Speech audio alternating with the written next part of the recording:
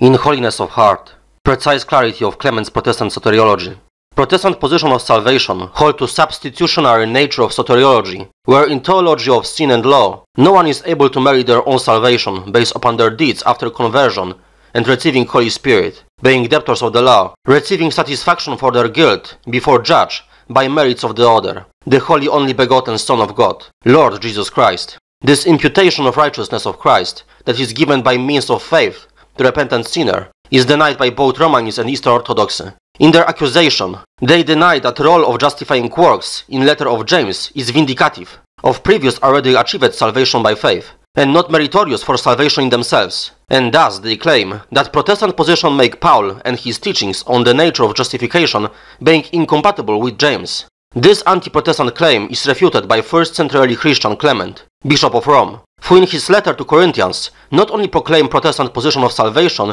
in way even more explicit than did Apostle Paul, but he combined it in the same letter with declarations akin to those of James about justification that also is of works. Thus, if it is true that Clement's declaration of soteriological salvation declares Protestant position in chapter 32, does it mean that by this Clement testify to Roman Catholics and Eastern Orthodox that Protestant understanding of Paul is not only right one, but also compatible and solely compatible with declaration of James, making it vindicative confirmation in its nature. In chapter 42, Clement declares explicitly, in Protestant manner, as follows. All these, therefore, were highly honored and made great, not for their own sake, or for their own works, or for their own righteousness which they wrought, but through the operation of his will. And we too, being called by his will in Christ Jesus, are not justified by ourselves, nor by our own wisdom, or understanding, or godliness, or works which we have wrought in holiness of heart, but by that faith,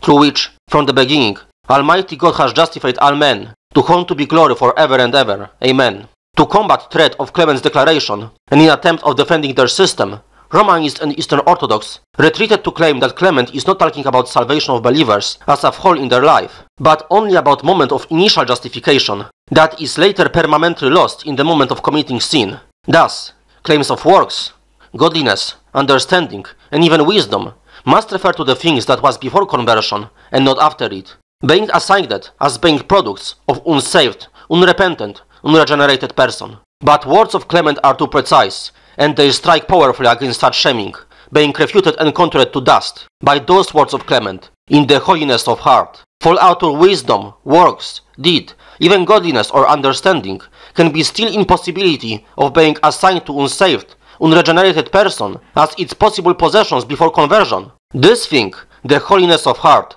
is not possible to be obtained by anyone other, but only the one who already is in possession an internal work of Holy Spirit, who grants him the state of heart that is to be considered holy. For holiness does not come from nature of a man, but only from God, the one who is source of holiness, and cannot be possessed without him. By precise, strict declaration of Clement about deeds done in holiness of heart, Clement declares salvation not of those who are saved initially, from unsaved and unrepentant state of dead sinful heart, but Christians who are already living in its holiness. And I will give them one heart, and I will put a new spirit within you, and I will take the stony heart out of their flesh, and I will give them heart of flesh, that they may walk in my statutes, and keep my ordinances, and do them, and they shall be my people, and I will be their God.